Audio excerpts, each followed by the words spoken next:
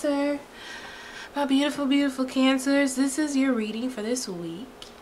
I am a little bit sick, so just bear with me. That's why everything is... What is it, baby? I'm trying to do a video.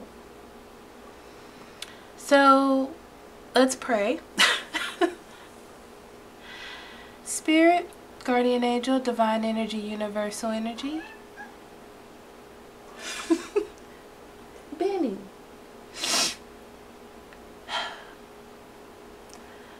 Please let me know what you have for Cancer for January 28th through February 3rd.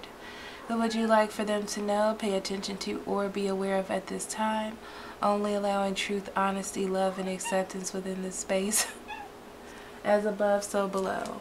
He is really starting to scream. I wonder, can you hear him? Okay, Cancer. He wants to jump in my lap while I'm at the table. That's not going to happen. So,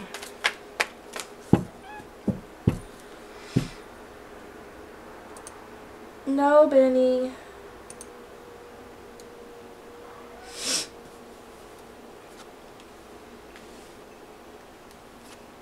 Mmm, putting those walls down.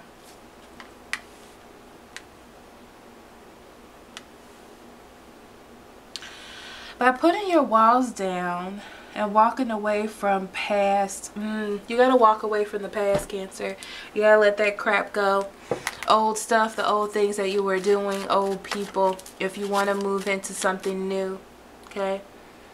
And I feel like whatever this is not only is it going to grow you in a relationship but it's going to grow you as a person. But you gotta let it go you know what I'm saying? You gotta move on sorry let me switch this video edit. Um, you have to move on if you want it to grow. So numerology real quick um, mm, four. Oh that is so perfect.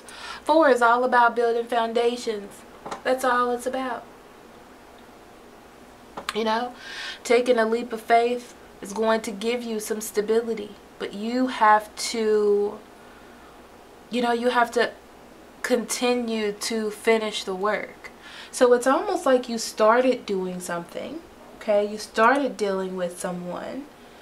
You started reaping the benefits of whatever it is and you're getting to a point where there's something that you have to let go of and you're not sure that you want to do that. This is the real test of time for you, Cancer, okay? Is that if you want to let this go, if you want to fully make that commitment, okay?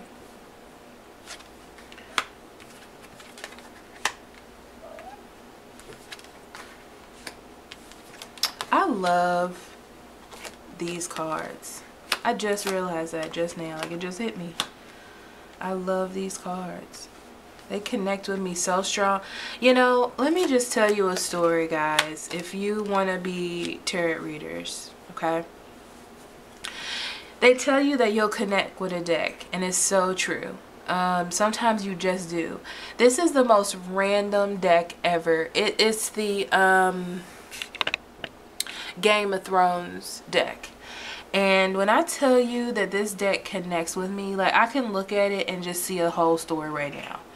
I don't know why it's not the one that I would choose for myself, you know, but it really, really does. Even though I love the Game of Thrones, let's be serious.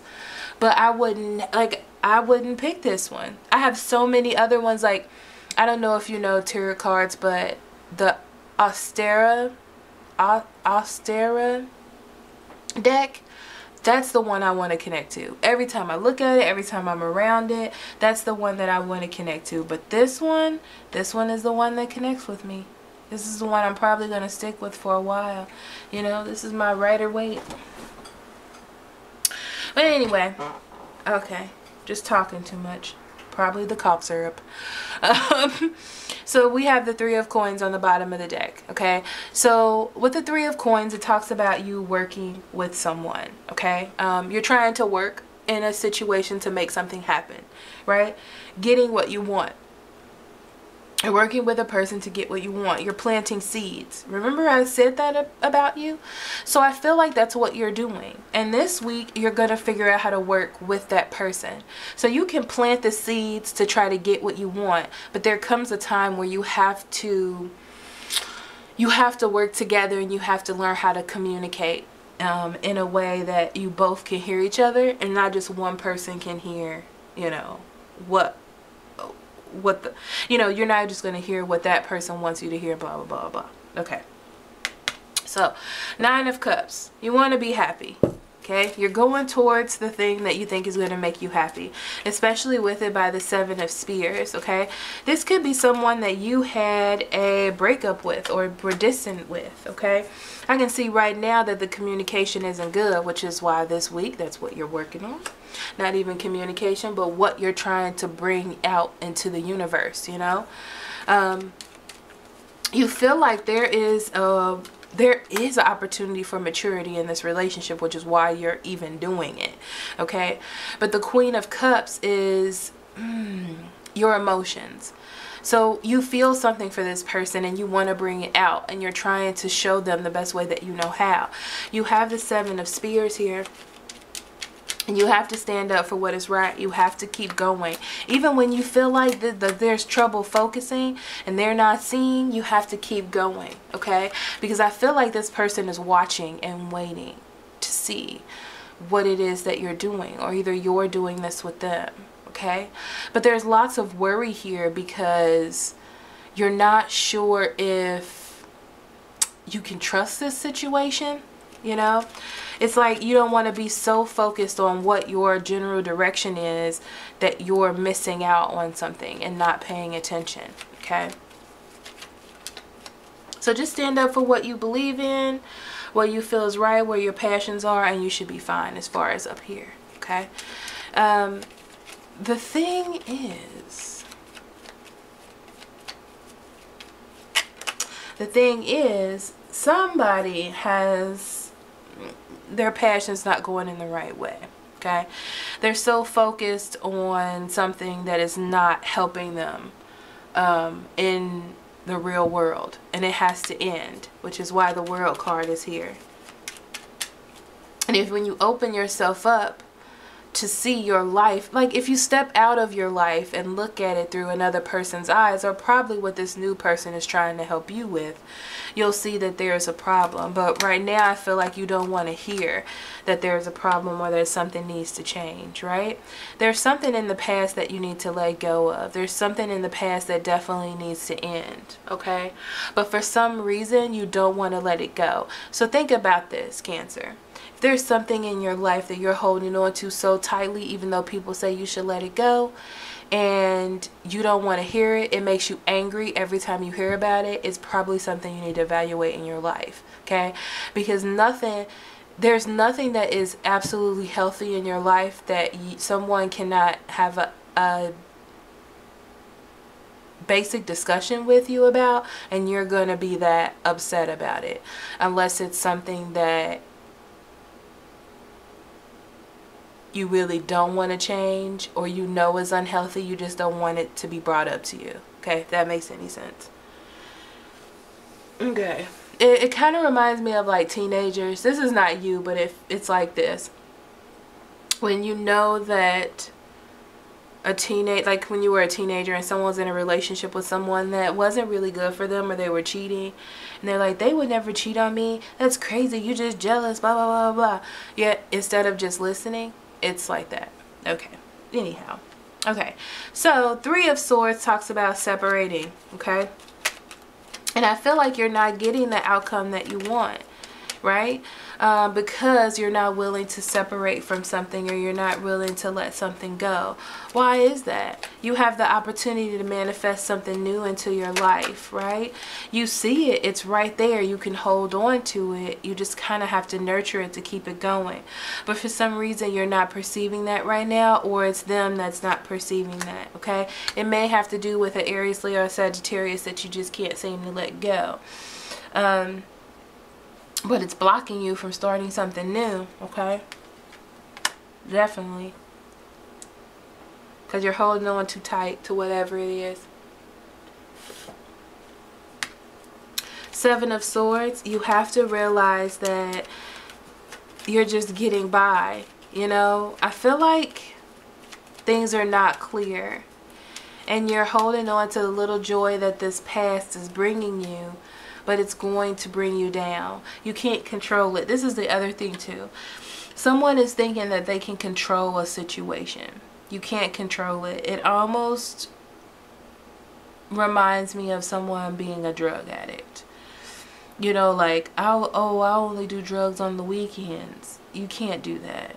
You know, like, it's going to take over your life. That is the story. That is the first story of every drug addict almost, okay? I only do it on the weekends.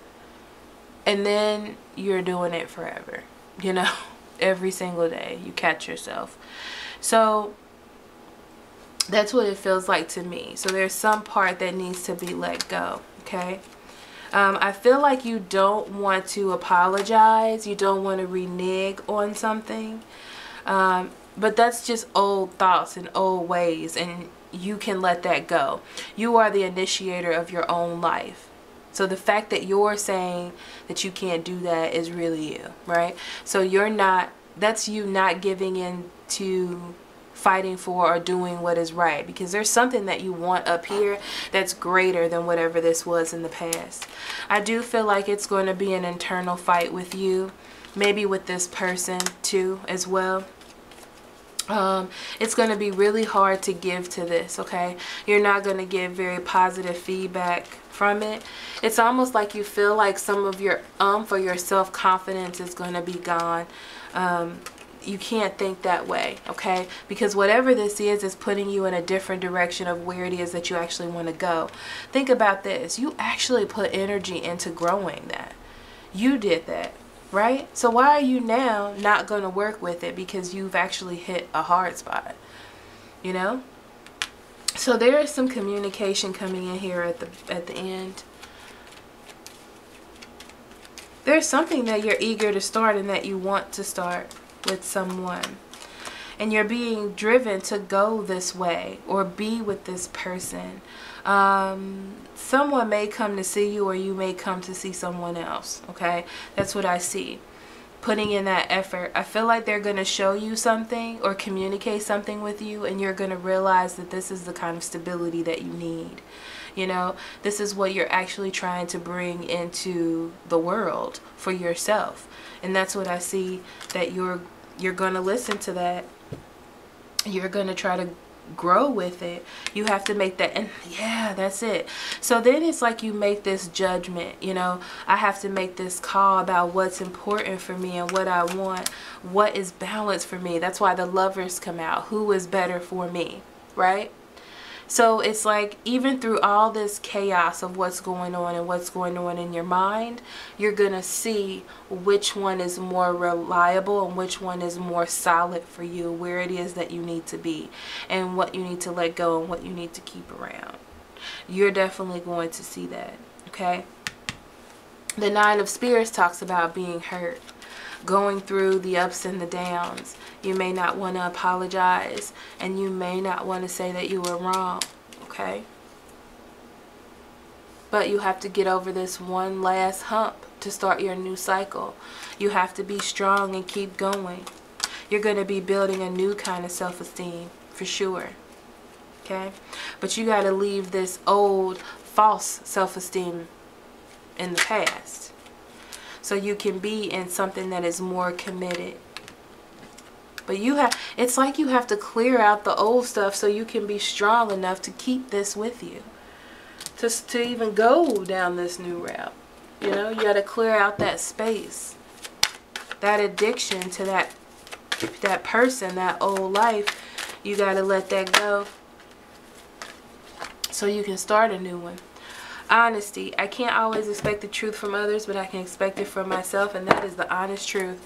You may not want to trust this new person. You may not want to trust the old person but what you can trust is yourself. So as soon as you clear out all these old toxicities i don't know if someone's on drugs or been drinking a lot smoking a lot of weed or whatever it is that you're doing as soon as you clear all that out and get your mind together you're going to see where it is that you need to be okay? You may want to listen to some elders or some people that have some good advice for you. I remember saying something about not wanting to listen, okay? You may want to listen to that person. Pay attention to the red flags. Bam. That's all I've been talking about. Forgiving and learning, okay? You're learning where to put your time and energy into, what it is that you're trying to get out, okay? Where you're trying, what it is that you're trying to get out of life. Let go of control issues, right? You can't fully control your whole life. You aren't even control of your whole life, you know? There's so many things that we do not understand. There's so many things that are out of our hands that you cannot control. Okay? As soon, I don't know if you this, guys, but as soon as you try to hold on to something or make your own path or say, this is where I'm going to be forever, that's when shit starts to hit the fan. Okay? Because spirit in the universe has their their own way for you and what they believe that you need in your own life. Okay? God, guardian angels, whatever it is that you believe in. Spirit. And all we can do is follow and work the path and be honest with ourselves. Okay? So thank you so much for listening and I will see you next week for more self-discovery. Love and light to you. Bye-bye.